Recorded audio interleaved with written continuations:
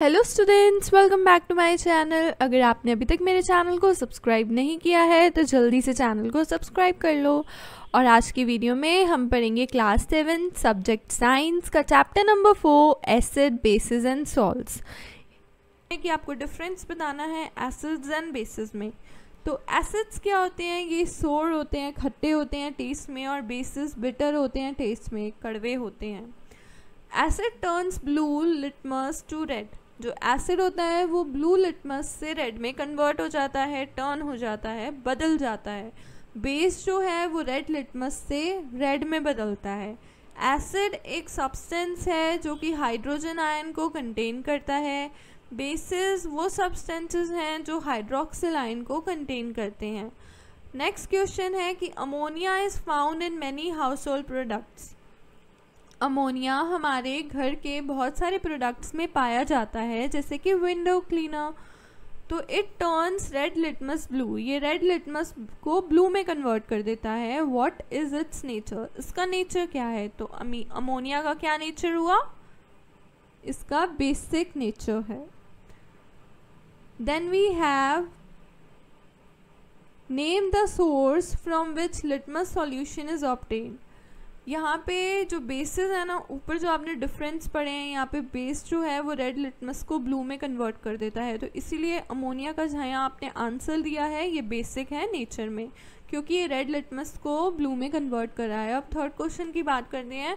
Name the source from which litmus solution is obtained एक ऐसे source का नाम बताइए, जिससे लिटमस सॉल्यूशन ऑप्टेन होता है। What is the use of this solution और इस सॉल्यूशन का क्या यूज़ है? तो लिटमस सॉल्यूशन लाइकेन जो होते हैं, उनसे एक्सट्रैक्ट होता है, निकाला जाता है, या निकलता है। एंड ये यूज़ होता है डिटरमाइन करने के लिए कि वेदर जो गिवन सॉल्यूशन आपके पास है, वो एसिडिक है या बेसिक है नेचर में। इज़ द डिस्टिल्ड वाटर जो डिस्टिल्ड वाटर होता है, वो एसिडिक बेसिक या न्यूट्रल होता है? How would you verify it आप इसको वेरीफाई कैसे करोगे? डिस्टिल्ड वाटर जो होता है वो न्यूट्रल होता है नेचर में। वी कैन वेरीफाई हम इसको वेरीफाई कर सकते हैं शो करके कि जो दैट नाइदर ब्लू और रेड लिटमस पेपर ना तो ब्लू और ना ही जो रेड लिटमस पेपर है वो कलर चेंज करता है अपना जब भी हम उसको डिप करते हैं सोल्यूशन में। Describe the process of neutralization आपको यहाँ पे न्यूट्रलाइजेशन का प्रोसेस डिस्क्राइब करना है एग्ज़ाम्पल के साथ। सो so, जो reaction the reaction between acid and base acid और बेस के बीच में जो रिएक्शन होती है, उसको हम न्यूट्रलाइजेशन कहते हैं. सॉल्ट और water salt and water produce होते हैं इस प्रोसेस में हीट के इवोल्यूशन से. एंटैकिड्स जैसे कि milk of magnesium magnesium hydroxide भी जिसको बोलते हैं बेकिंग सोडा एक्सेट्रा जो कंटेन करता है बेस को वो यूज़ होते हैं रिड्यूसिंग एसिडिटी के लिए एसिडिटी को रिड्यूस करने के लिए हमारे स्टमक में जब हम एक्सेसिव एसिड रिलीज़ होता है हमारे ग्लैंड्स के द्वारा। आपके पास नेक्स्ट क्वेश्चन है, आपको ट्रू फॉल्स बताने हैं so nitric acid red litmus blue blue में टर्न होता है सो so ये ट्रू है या फॉल्स है? तो ये फॉल्स है। सोडियम हाइड्रोक्साइड जो है, वो ब्लू लिटमस रेड में टर्न होता है, ये ट्रू है या फॉल्स है? ये भी फॉल्स है। सोडियम हाइड्रोक्साइड और जो हाइड्रोक्लोरिक एसिड है, वो न्यूट्रलाइज करते हैं एक दूसरे को and salt and water form करते हैं। क्या ये ट्रू है या फॉल्स है? तो ये है ट्रू इंडिकेटर जो है, वो एक सब्सटेंस है जो शो करता है अलग कलर्स को एसिडिक एंड बेसिक सोल्यूशंस में। ये ट्रू है या फॉल्स है? ये सही है so it's true tooth decay जो होती है, वो कॉज होती है by the presence of a base ये सही है या गलत है? ये गलत है सो so ये फॉल्स है।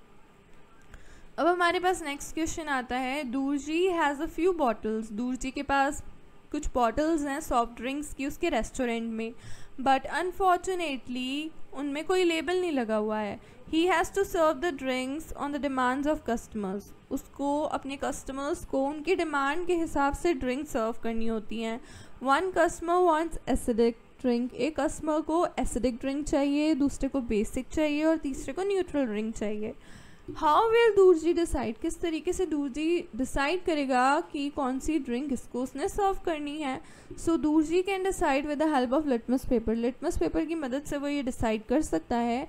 जो ड्रिंक है, जो टर्न होगी रेड लिटमस ब्लू में वो बेसिक होगी। और जो ड्रिंक है, जो टर्न होगी ब्लू लिटमस रेड में वो एसिडिक होगी। और जो ड्रिंक है, जिसमें लिटमस पेपर के अंदर कोई भी कलर में चेंज ही नहीं आएगा कोई इफ़ेक्ट ही नहीं होगा, वो न्यूट्रल होगी। अब हमारे पास नेक्स्ट क्वेश्चन आ जाता है एक्सप्लेन वाई एक एंटासिड टैबलेट जो है, वो हम लेते हैं जब हमें एसिडिटी होती है।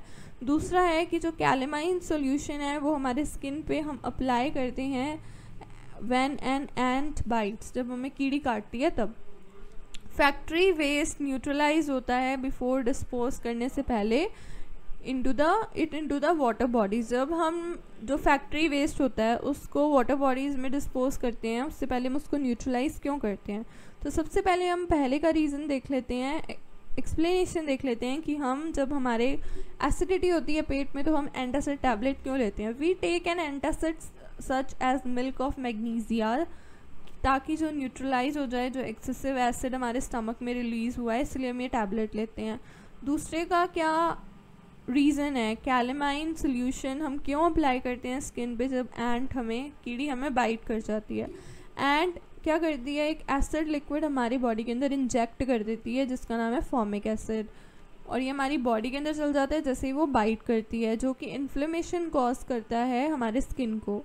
जो इफ़ेक्ट होता है एसिड का, हम उसको रब करके न्यूट्रलाइज कर सकते हैं. और जो कैलेमाइन सोल्यूशन है, वो जिंक कार्बोनेट को कंटेन करता है, जो कि एक बहुत ही वीक बेस है और वो कोई हार्म नहीं पहुंचाता हमारी स्किन को। नेक्स्ट है कि हम जो फैक्ट्री वे, वेस्ट होता है उसको न्यूट्रलाइज क्यों करते हैं? वाटर बॉडीज़ में डिस्पोज करने से पहले। तो जो वेस्ट होता है फैब्रिक्स का फैक्ट्रीज़ का वो क्या कंटेन करता है? वो एसिड कंटेन करता है उनमें एसिड होता है। और अगर हम एसिड को डिस्पोज ऑफ़ करते हैं वाटर बॉडी में तो एसिड जो है वो वहाँ के ऑर्गेनिजम्स को हार्म करेगा। जो पानी के अंदर जीव रह रहे हैं, उनको नुकसान पहुंचेगा। इसीलिए हम उनको पहले क्या करते हैं न्यूट्रलाइज कर लेते हैं बेसिक सब्सटेंसेस को ऐड करके।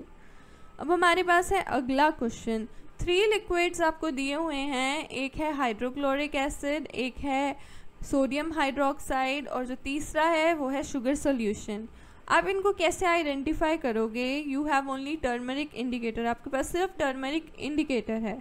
तो नेम जो है सब्सटेंस इफ़ेक्ट के ऑन टर्मरिक इंडिकेटर वो आपको दिए हुए हैं, जैसे hydrochloric acid yellow to blue turn हो जाएगा, जो सोडियम हाइड्रोक्साइड है वो येलो टू रेड टर्न हो जाएगा और जो शुगर सॉल्यूशन है उसमें कोई चेंज नहीं आएगा। इससे आप पता लगा सकते हैं ये। नेक्स्ट क्वेश्चन है ब्लू लिटमस पेपर को जब आप सोल्यूशन में डिप करते हो तो वो ब्लू ही रहता है। ये इस सॉल्यूशन का कैसा नेचर है एक्सप्लेन कीजिए। तो it can be identified on the basis of the following observation के बेस पे हम ये आइडेंटिफाई कर सकते हैं। बेसिस जो होते हैं, वो कलर ऑफ़ लिटमस पेपर को ब्लू में कन्वर्ट करती हैं। जो बेस होता है, वो आपके लिटमस पेपर के जो कलर है, उसको ब्लू में कन्वर्ट कर देता है।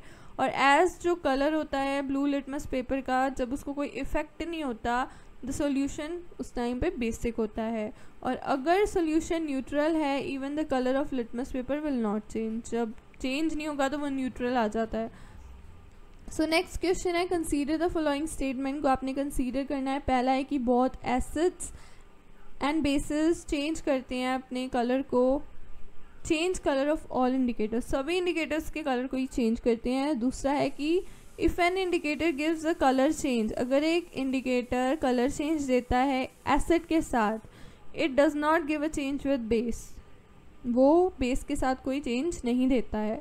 नेक्स्ट है कि अगर एक इंडिकेटर चेंज करता है कलर को बेस के साथ तो वो कोई कलर चेंज नहीं करता है एसिड के साथ। अगला है कि गाइस अगर आपको वीडियो अच्छी लगी तो वीडियो को लाइक करना शेयर करना ना भूलिएगा। चैनल को सब्सक्राइब करना ना भूलिएगा एंड बेल नोटिफिकेशन को दबाना ना भूलिएगा।